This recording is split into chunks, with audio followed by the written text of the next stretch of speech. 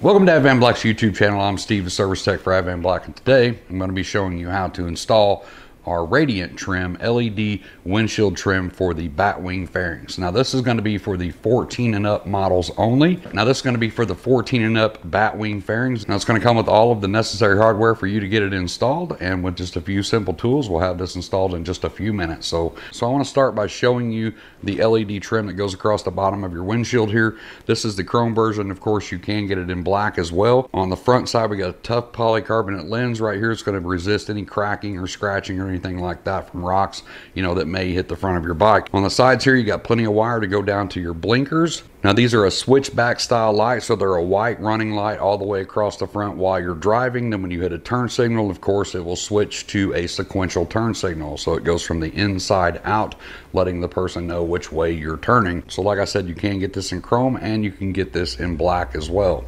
So on the back side of this, you got a thick piece of rubber that's going to help protect the metal from getting on the paint as well. So this is completely plug and play. And like I said, you're going to get all of the hardware that's needed. You're going to have a splitter for each side because you have to have one that goes up to the light now and also back to your existing blinker. You'll get some zip ties included and of course three new windshield bolts. Two of them are short, one of them are long, just like your OEM ones. Short ones on the outside, long one in the middle. So let's get the camera over here and we'll get this installed. So the first thing we're going to do is take our ratchet and take these acorn nuts right here off the top and the bottom of our turn signal signal. When you pull this off, be careful. There is a wire and a connector behind that. So we're going to pull that wire out, pull the connector out, and disconnect that just like that. So we're going to go ahead and take our splitter with one of the male ends and go ahead and connect it. And we're going to do that to both sides of the bike.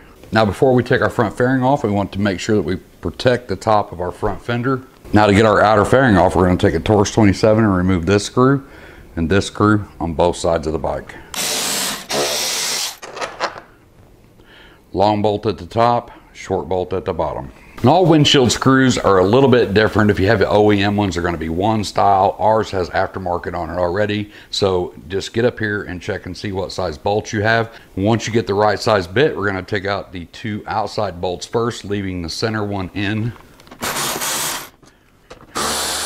We're going to loosen the long bolt in the middle. Then we can kind of hold the front fairing and we can pull our windshield out, making sure that we maintain forward pressure on the fairing with our hand. We're gonna go ahead and remove the bolt. Now we can tilt the fairing slightly forward like this. Then we can reach in and disconnect any other lights that we may have and our headlight.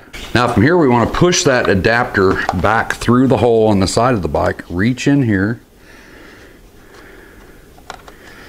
and fish this wire through, leaving the female clip on the outside here, but we can access it from the inside here on our splitter. And we're gonna make sure that we do that on both sides of the bike. Push the splitter through. Now we have it on the inside of the fairing, but we have the outside sticking out for our turn signal. At this point, we can reinstall our turn signal. When you're putting this back on, make sure that you're not pinching any of the wires front and rear when you put your acorn nuts back on. Do that to both sides of the bike. Now from here we can set our fairing back into place, plug in any lights that you unplugged previously, also undo the wires on your trim. We want to make sure that this wire is coming out the side. You'll see a slot in the rubber and a slot in the metal to make sure that wire comes out of there without pinching anything. Making sure that those are in place. We'll set the trim up on there. We'll take our large windshield screw and just go ahead and kind of poke it through just about halfway and we'll actually use that to hold everything while we set the fairing back into place. Plug in our windshield trim off of our splitter. Once those are plugged in, we're going to route that wire down and inside. Pull our bolt back out so it sets into place.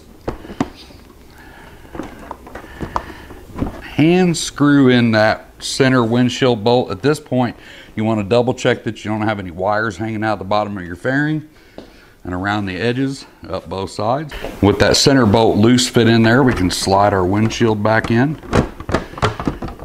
Now at this point, we want to make sure that this wire comes straight out of the side of the light, up closest to the windshield, and tuck it straight into the inner fairing.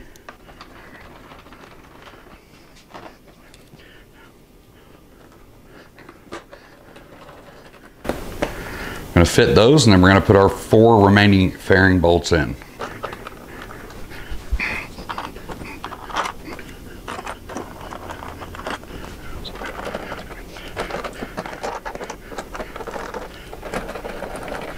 Once you have everything tightened up and secure, we're going to go over and kick the bike on. I'm going to check to make sure that we have running light. We want to make sure that we have right and left turn signals.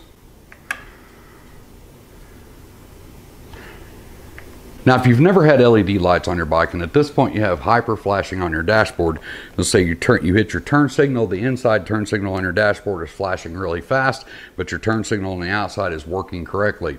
That's called hyper flashing. what's going on is the ECM on the bike thinks that you have a turn signal out. The LEDs take a significantly less draw than a standard bulb that comes in these bikes. In order to reset your ECM for LEDs, you're going to want to kick the bike on we're to go over here and hit our hazard lights. Make sure our hazard lights come on and we're going to turn the bike off. We're to let those hazard lights run from anywhere from one minute to five minutes. And on some of the Milwaukee 8 models, you may have to actually start the bike during this process. Once the inside turn signals and the outside turn signals are blinking at the exact same time, it's reset. You'll kick the bike back on, turn the hazards off, turn the bike back off, and you're good to go.